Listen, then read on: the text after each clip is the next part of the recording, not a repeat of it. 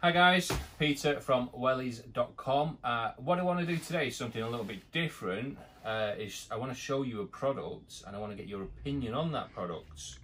So we're talking to a company, we met them at the, uh, at the spring fair a couple of months ago and it's a Japanese based company and they make wellies, but these wellies are different. That is obviously a pair of wellies and they are foldable and collapsible and they come in this nice neat package.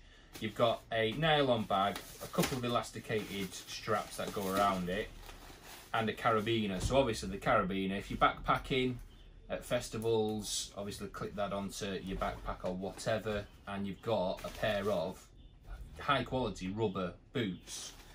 So obviously you take the straps off, take the boots out of the bag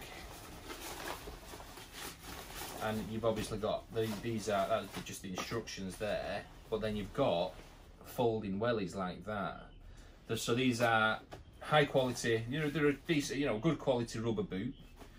They are barefoot in style so if you're familiar with barefoot shoes there's no sort of thick tread on them. It's quite a thin uh, sole a thin tread on that.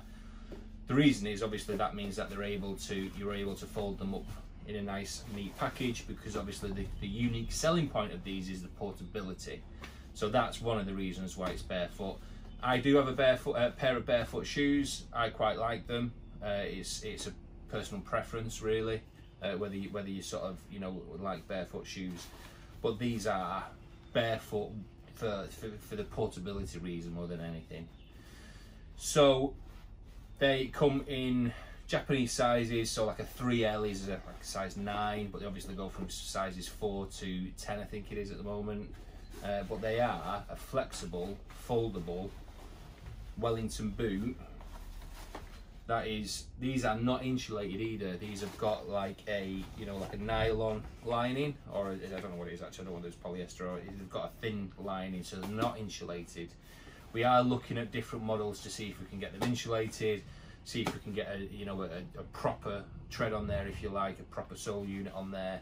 Uh, but what the question is the question is if you saw these on the shelf portable foldable lightweight wellies designed for uh, when you've got you know not much space. So if you're going on holiday to somewhere where you might need a pair of wellies so if you're a bird watcher traveling to wherever they're ideal because they pack away like that. Festivals, uh, gardening. They're a nice. They're a nice lightweight gardening welly, basically. Uh, camping, caravanning, uh, anywhere where you've got a limited amount of space, but you need, might need a pair of wellies. Dog walking, so you could throw them in the back of the car, and you've got a pair of wellies if you need them wherever you're going. So we like the product. We're happy with the product. It's a great product the problem we've got is how much do you would you spend on a pair of folding wellies like that? And that's what I want to know from you. So if you look at this product and go yeah that's a good quality product I'd spend 80 pounds on it. I'd spend 40 pounds on it. I want you to uh, follow the link. There's going to be a link along with this video and it'll be a quick sort of questionnaire on it and and basically that'll help us bring this product to the UK market Okay, so check out the link below. Uh, and I look forward to receiving your feedback and I look forward to bringing these in. We do like them. We just need a little help with the price point on them. Okay, cheers guys. Thanks. Bye-bye.